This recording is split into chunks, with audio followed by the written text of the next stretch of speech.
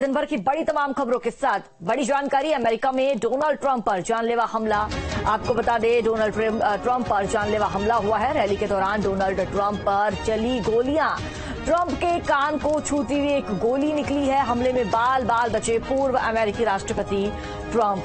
Trump के कान से खून निकलता भी नज़र आया है। आपको बता दें पेंसिल्वेनिया के बटलर में यह हमला हुआ है। डोनाल्ड ट्रंप को अस्पताल से छुट्टी हालाँकि मिल चुकी है। अस्पताल से डिस्चार्ज के बाद न्यू जर्सी ट्रंप पहुँचे हैं। तो देखिए, पेंसिल्वेनिया के बटलर में यह बड़ा हमला हुआ है ट्रंप पर और यहाँ पर ट्रंप एक रैली को संबोधित कर रहे थे। भारी मात्रा में लोग यहाँ पर मौजूद थे और जानकारी ये सामने आ रही कि ट्रंप के कान से गोली छूती हुई निकली और ट्रंप के कान से खून निकलने लगा। राष्ट्रपति चुनाव प्रचार के लिए यहाँ पर मौजूद थे, पहुँचे हुए थे। भारी मात्रा में उनकी पीछे आप तस्वीर देख ही सकते हैं। भीड़ यहाँ पर काफ़ी भारी तादाद में नज़र आ रही थी और लेकिन अचानक ही ट्रंप पर हमला हो जाता है। हालाँकि अस्पताल से डिस्चार्ज कर दिया गया है उन्हें और न्यूजर्सी पहुँचे हैं ट्रंप।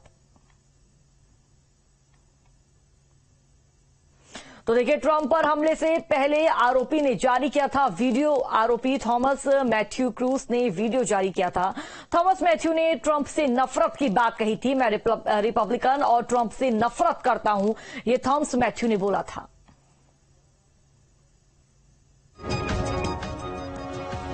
तो देखिए, ट्रंप पर हमले से पहले आरोपी ने एक वीडियो भी जारी किया था। आरोपी थॉमस मैथ्यू क्रूस ने वीडियो जारी किया था।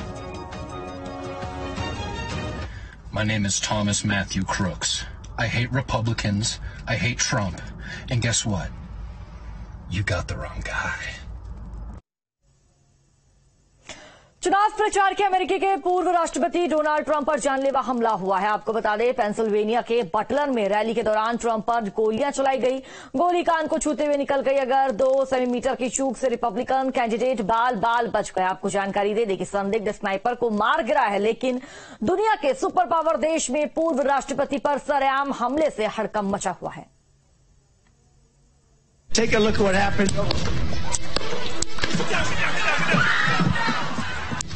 अमेरिका के पूर्व राष्ट्रपति डोनाल्ड ट्रंप पर जानलेवा हमला।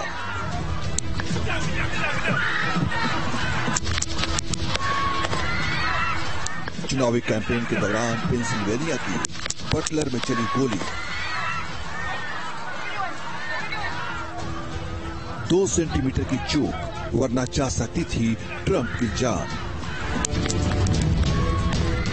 शूटर की गोलियों ने पूर्व राष्ट्रपति के कान को कर दिया छलनी। Take a look what happened. Shooters के टारगेट पर डोनाल्ड ट्रंप बाल बाल बचे। रिपब्लिकन कैंडिडेट ट्रंप के कान को छू कर निकली गोली ट्रंप की सभा में ताबड़तोड़ फायरिंग से मचा हड़कंप।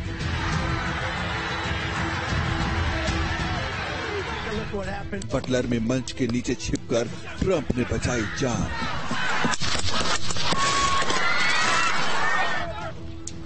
फायरिंग के बाद मचे हड़कंप में भी ट्रंप ने दिखाया हौसला। कान से बका दिखा ब्लड। अटैक के बावजूद डोनाल्ड ट्रंप का जोश हाई। मुट्ठी बांधकर जोश में लगाए नारे।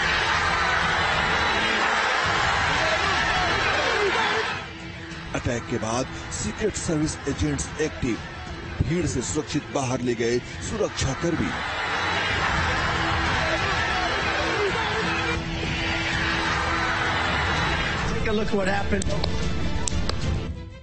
फायरिंग की आवाज़ से लोगों में अफरा तफरी।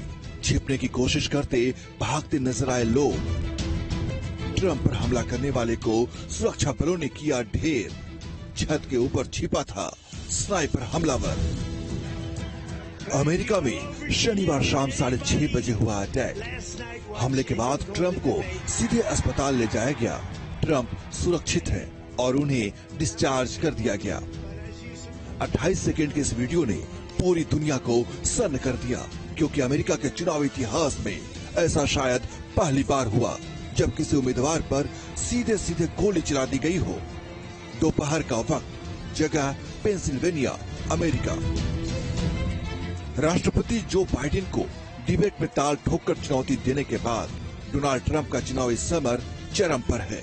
इसी चुनावी हलचल में डोनाल्ड ट्रंप की सभा चल रही थी, जहाँ बड़ी तादाद में ट्रंप सपोर्टर मौजूद थे।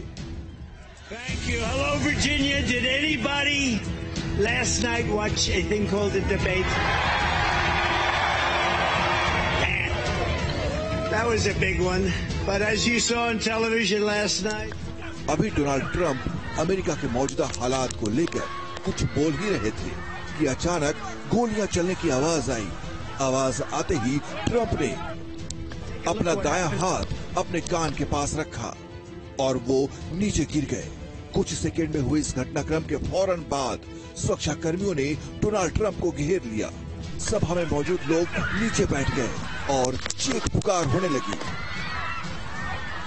फायरिंग के बाद ट्रंप के सुरक्षा कर्मी यानी सीक्रेट सर्विस के एजेंट एक्टिव हो गए।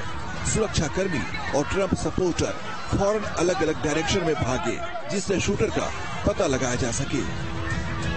वहीं इस वारदात का एक दूसरा वीडियो डोनाल्ड ट्रंप के समर्थकों ने सोशल मीडिया पर पोस्ट किया है, जिसमें डोनाल्ड ट्रंप के कान से खून निकलता दिखाई दे रहा है। रिपब्लिकन कैंडिडेट ट्रंप इस हमले में बाल बाल बच गए और गोली उनके दाहिने कान को छलनी करते हुए निकल गई अगर गोली दो सेंटीमीटर भी अंदर की तरफ़ आई होती तो ट्रंप की जान भी जा सकती थी.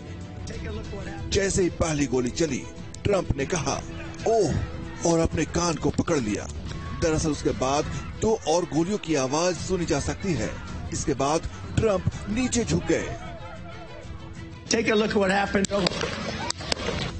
Donald Trump के चेहरे पर भी खून था, लेकिन जब सुरक्षा कर्मी उन्हें ले जाने लगे तो ट्रंप ने रुक कर अपना मुक्का हवा में लहराया मानो कहना चाह रहे हो, वो ऐसे हमलों से नहीं डरते, जोश में ट्रंप ने नारे भी लगाए मैं यूनाइटेड स्टेट्स सीक्रेट सर्विस और सभी कानून प्रवर्तन एजेंसियों को गोलीबारी पर उनकी त्वरित प्रतिक्रिया के लिए धन्यवाद देना चाहता हूँ।